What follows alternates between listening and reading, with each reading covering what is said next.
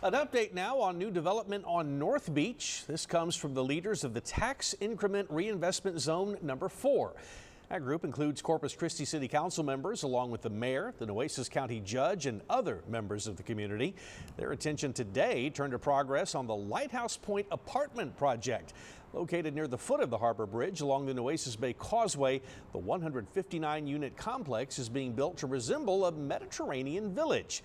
In addition to a chapel, a restaurant, a banquet hall, work is nearly complete on a 135 foot lighthouse.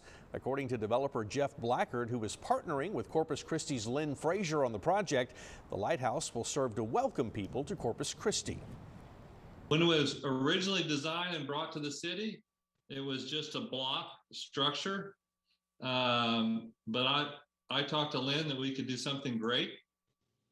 And literally, when you drive across that bridge, you are seeing a masterpiece. That'll not only be the tallest lighthouse in Texas, but also the tallest stone lighthouse in the entire Western Hemisphere. The apartments are already being leased and are being seen as another step toward bringing new life to North Beach.